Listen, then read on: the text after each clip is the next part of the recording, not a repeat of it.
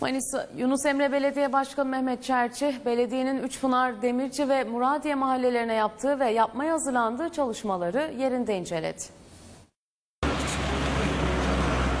Yunus Emre Belediyesi ilçede yeni projeleri hayata geçirmeye hazırlanıyor. Başkan Çerçi, Üçpınar, Demirci ve Muradiye mahallesinde belediyenin yaptığı ve yapacağı projeleri yerinde inceledi. Çalışmalar hakkında bilgi aldı. Başkan Çerçi'ye Belediye Başkan Yardımcısı Saniye Altay, Meclis Üyesi Arif Hakan ve daire müdürleri eşlik etti. Oradan geç baba başkan. Doldur zaten kenarına olur. Bunun içinden mi? Bunun üzerine versek olur. İlk olarak Üçpınar Mahallesi'nde yapımı devam eden pazar yeri ve sosyal tesisi incelemede bulunan Başkan Çerçi, daha sonra Demirci Mahallesi'nde bulunan ve vatandaşların şifalı olduğuna inandığı doğal kaynak suyunun çevresini gezerek burada yapılması planlanan çalışma hakkında bilgi aldı.